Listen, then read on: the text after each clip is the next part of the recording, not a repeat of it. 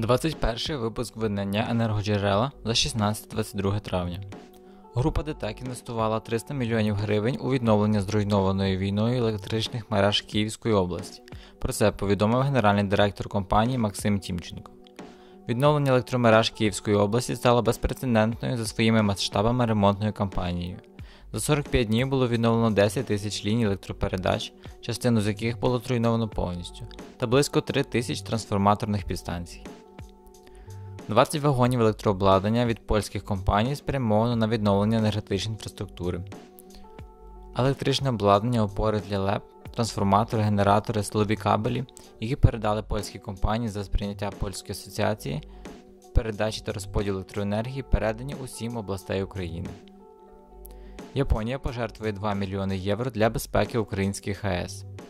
Японія оголосила, що пожертвує 2 мільйони євро Міжнародному агентству з атомної енергії для його зусиль і забезпечення безпеки українських ядерних об'єктів, які зазнали нападу Росії.